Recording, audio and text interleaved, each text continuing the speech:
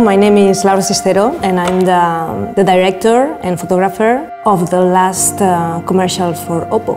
I tried to use the Oppo to make some tricky shots. A mobile phone, it's easier to put it like in some small places or to move quick from one place to another. I was quite surprised of the capabilities that the phone has to make pictures at night. It was super cool.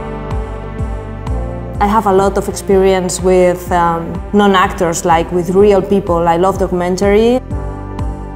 We are recreating uh, Joanna's world and Joanna's path through the victory.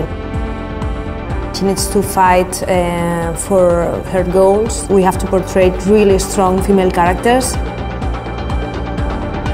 I don't like to be treated as a female director, I like to be treated as a director.